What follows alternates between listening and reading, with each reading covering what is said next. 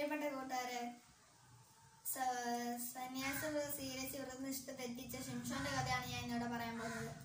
ഇസ്രായേലിലെ ഫെലിസ്തീനിൽ നിന്ന് ഇസ്രായേലിലെ ഫെസ്റ്റേൽ രക്ഷിക്കാൻ ദൈവത്താൽ തിരഞ്ഞെടുക്കപ്പെട്ട തിരഞ്ഞെടുക്കപ്പെട്ട ആളാണ് ഷിംഷോൻ അയാളാണ് ഷിംഷോൻ അവൻ നാസിരിക്കാരനായിരുന്നു അവൻ മീനോ മദ്യമോ കുടിക്കാതെ അവന്റെ തലയിൽ ശൗരക്കത്തി തൊടാതെ അവൻ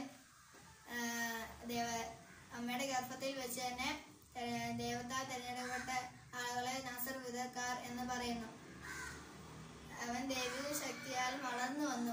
അവൻ യുവാവായിരിക്കെ അവൻ ബാലസിംഹത്തിനെ വലിച്ചു കീറി കളഞ്ഞ കഴുതയുടെ താടിയിൽ കൊണ്ട് അവൻ ആയ- ആയിരം ഫെൽസ്തേരെ വധിച്ചു. അവൻ ഇങ്ങനെ ഇരിക്കെ അവന്റെ വ്രതനിഷ്ഠകളെല്ലാം തെറ്റിച്ചു. അവൻ ദലീല എന്ന സ്ത്രീയെ കല്യാണ വിവാഹം കഴിച്ചു. അപ്പോൾ സ്ത്രീയെ വിവാഹം കഴിച്ചു. അപ്പോൾ ഫെലിസ്തീയ ഷിംഷോന്റെ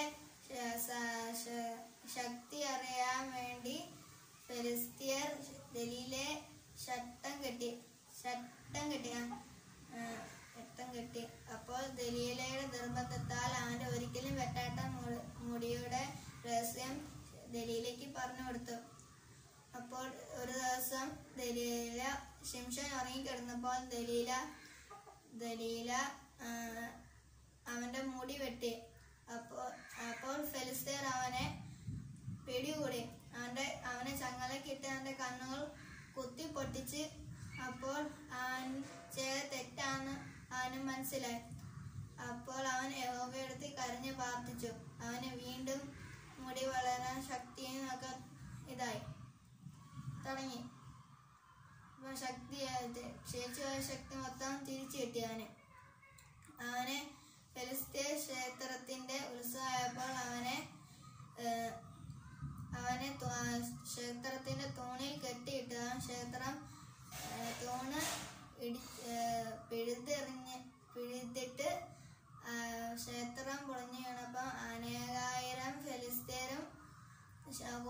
സംശോനും മരിച്ചുപോയി ഇങ്ങനെ അവന് ദൈവം തന്ന നിയോഗം അവൻ പൂർത്തിയാക്കി.